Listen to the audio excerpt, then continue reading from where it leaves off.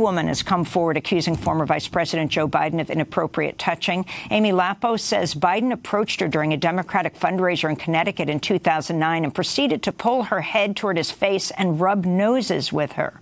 Lappos told the Hartford Courant newspaper Monday, it wasn't sexual, but he did grab me by the head. He put his hand around my neck and pulled me in to rub noses with me. When he was pulling me in, I thought he was going to kiss me on the mouth, she said. Last week, former Nevada Assembly member Lucy Flores said Biden had inappropriately touched her during her run for lieutenant governor in 2014.